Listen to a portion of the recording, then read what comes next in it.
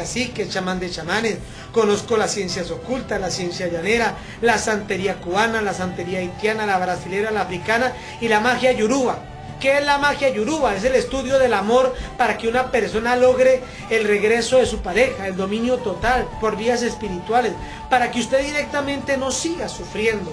Porque es que el sufrimiento sí lleva al ser humano al desconsuelo. El ser humano tiene tres clases de vida, no solo una vida.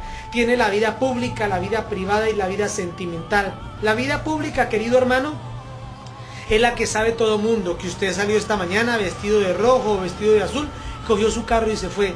La vida privada es la que sabe algunas personas de su casa y mentalmente usted, que tiene tantos hijos, o su padre se llama así, o su mamá se llama así. Pero la vida sentimental es solo la que usted sabe. Y cuando la vida sentimental falla, usted no tiene pan ni para comer, ni para dormir, ni para trabajar. Por eso hoy mismo consúlteme y rompa esas cadenas que lo tienen agobiado. Usted es una persona que tiene deudas, yo hago pactos para que usted gane oro, riqueza, dinero, abundancia.